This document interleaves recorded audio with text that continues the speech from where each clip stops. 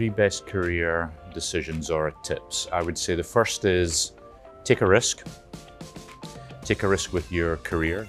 Uh, don't be afraid of the unknown because I think Bacardi has got tremendous opportunities for you to grow and develop, both if you take the risk to move cross functions or cross geographies.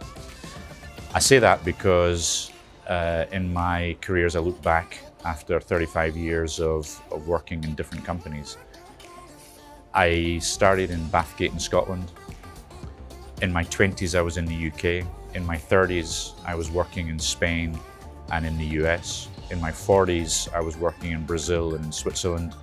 And now in my uh, 50s, I'm in the Netherlands. And now, you know, I'm standing here in Bermuda, um, looking back on a, on a career where I've had tremendously rich opportunities because I said yes.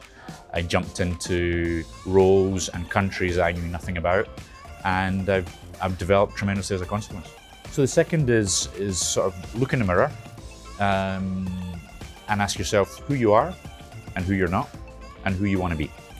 And I think who you are is play to your strengths, who you're not, be conscious of your development needs, but more importantly, who you want to be, which is be very clear about your purpose, your career vision and ambition, and be very deliberate about taking steps to get there.